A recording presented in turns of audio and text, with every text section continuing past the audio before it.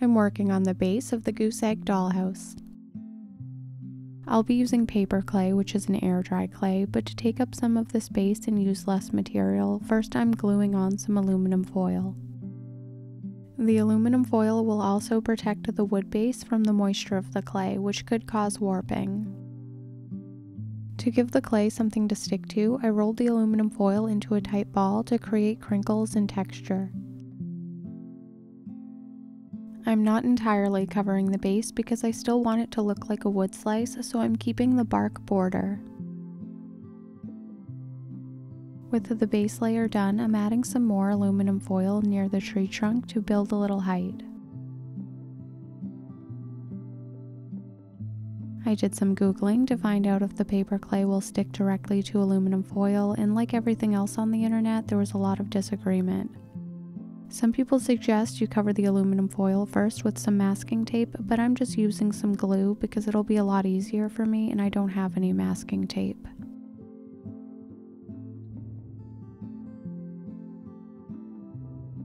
I'm adding the clay to the base by pulling off small pieces at once to make sure I press it into the texture of the aluminum foil.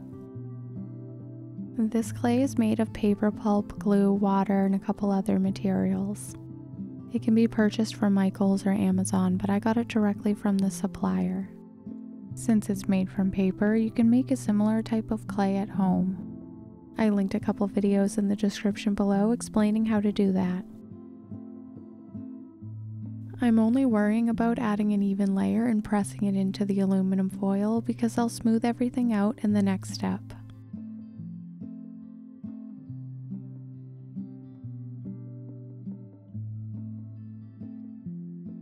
There are some surface cracks and general lumpiness, so I'm using some wet fingers to smooth it out.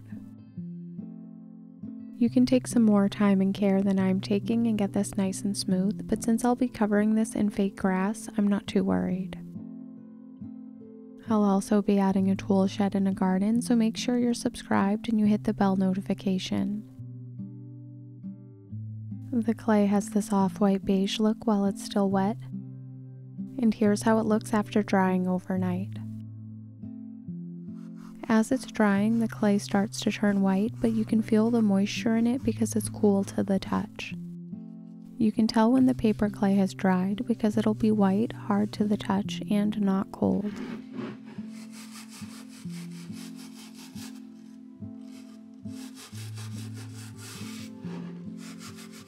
I'm painting the base various shades of green to make it look like faux grass. This is the approach you can take if you don't want to buy flocking or make your own.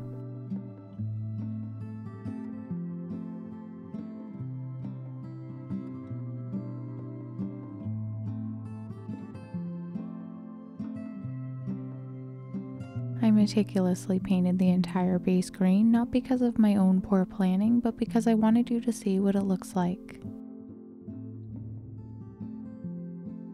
I'll be using some flocking for the grass, but first I'm painting the base brown because I'd like to add some dirt. I'm adding the dirt because I want to add some bare areas where the grass is sparse right around the tree trunk and I also think it'll look more realistic to layer the flocking over some dirt.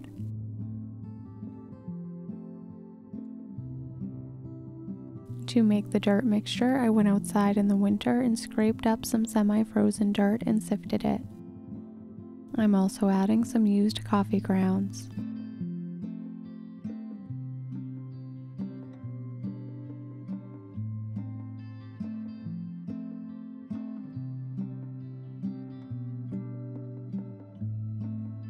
I'm spreading white glue in an even layer over the entire area I'm adding dirt to. My base is really small, but if yours is large, you'll want to apply the glue in sections so it doesn't dry out before you can add the dirt.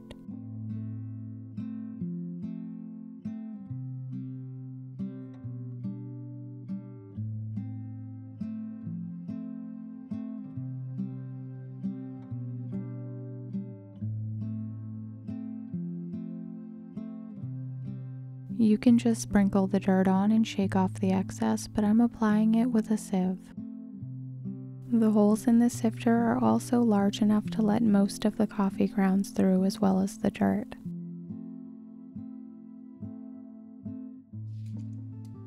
You can skip this step, but I'm applying rubbing alcohol so the watered down glue mixture can penetrate more easily. I used a dropper to apply the watered down glue and I'm tapping it into the granules using a paintbrush. It dried really dark because I forgot to sprinkle another layer over the wet glue before allowing it to dry. I could add another layer of glue and dirt, but for now I'm moving on to creating the spiral stairs. I'm using some slices of a tree branch to make the steps. The goose egg sits on this branch, so I'm creating a spiral staircase that'll lead from the top to the bottom. This is the part of the process I've been dreading since I've never done anything like this before and I wasn't sure where to start. After trying a few things and pulling them apart, I eventually settled on adding a platform here and some staggered smaller pieces that look like steps leading up to the doors.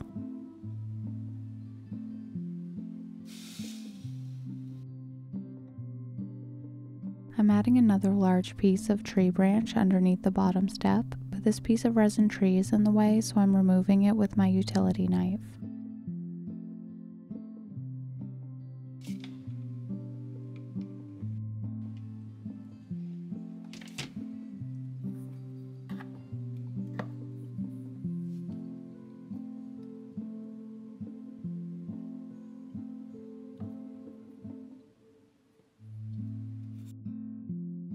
I continued adding the pieces in a spiral down the entire tree.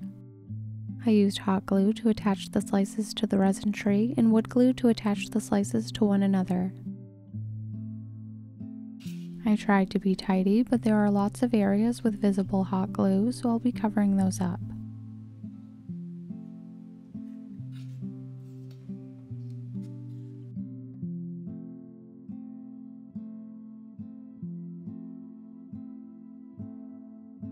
Using two different types of flocking to create a filler to cover up all of the glue spots. For variation, I'm mixing the two colors for the third one.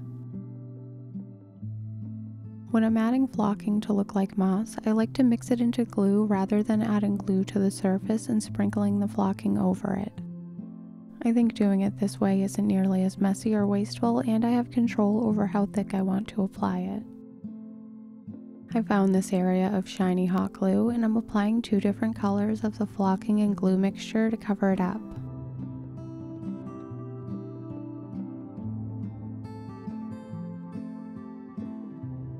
I'm using my fingertip to spread out the clump of flocking so it looks more realistic and like moss growing on the surface. I made a whole bunch more of the flocking and glue mixture and added it underneath all of the branch slices where they meet the resin tree. The flocking helps the stairs stand out and covers up large gaps where light was leaking through. I'm using some more flocking to fill the space where the egg meets the edge of the stairs.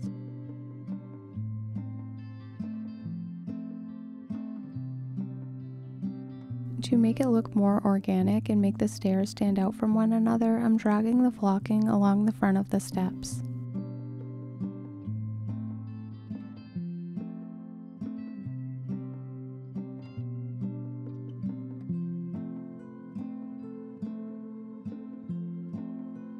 This slice was cut at an angle so there's a gap underneath it, so I'm using the flocking to fill that.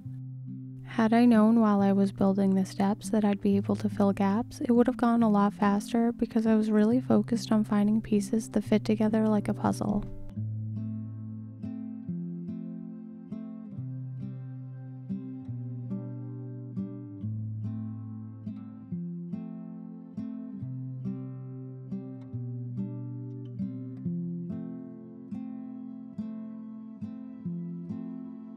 I'm waiting when it comes to adding the lawn because I need to figure out the position of the garden and the tool shed. I'll probably also make a little handmade bench for seating.